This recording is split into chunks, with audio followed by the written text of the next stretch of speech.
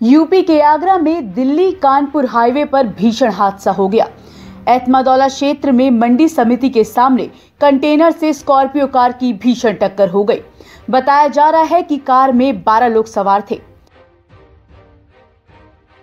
दर्दनाक हादसे में आठ लोगों की मौके पर ही मौत हो गई, जबकि तीन की हालत गंभीर बताई जा रही है और एक ने इलाज के दौरान दम तोड़ दिया।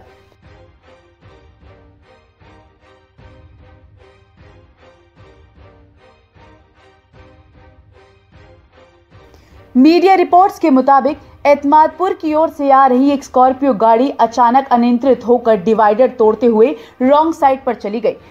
इसी बीच रामबाग की ओर से एक कंटेनर आ रहा था। स्कॉर्पियो उसी कंटेनर से जा टकराई। स्कॉर्पियो में सवार सभी मृतक बिहार के बताए जा रहे हैं।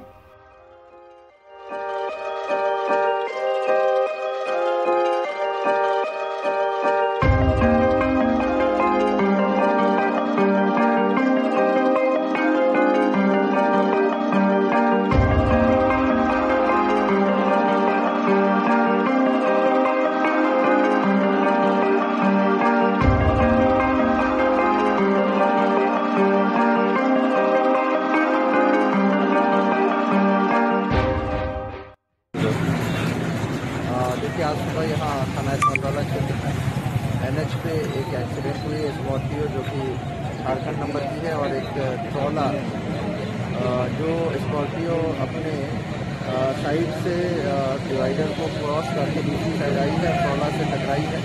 उसमें बारह लोग थे, जिनको विज़िट किया गया हॉस्पिटल, वहाँ कुल नौ लोगों की अभी तक डेथ हो गई है तीन लोगों का इलाज चल रहा है यहाँ जो है रेस्क्यू करा लिया गया गाड़ियों को हटा दिया गया ट्रैफ़िक नॉर्मल करा दिया गया जो इंजर्ड हैं उनकी जो है मेडिकल एग्जामिनेशन कॉलेज से कोऑर्डिनेट कर लिया गया और जो उनके परिवारजन हैं उनको जानकारी दी जा रही है ताकि आगे की कार्रवाई की जा सके। कहाँ के रहने वाले कुछ देखिए अभी तक जो जानकारी मिली है वो झारखंड बिहार के रहने वाले हैं झारखंड के रहने वाले हैं। और उनके परिजनों से कॉन्टैक्ट किया जा रहा है उनको जानकारी दी जा रही है ताकि वो लोग आ जाए। और जो इंजर्ड है, उनके विधिवत इलाज के लिए है, ऐसे मेडिकल कॉलेज के डॉक्टरों से बात करते हुए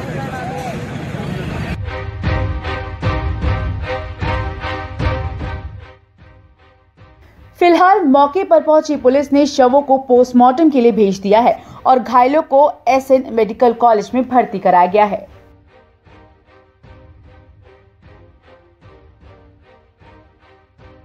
News desk.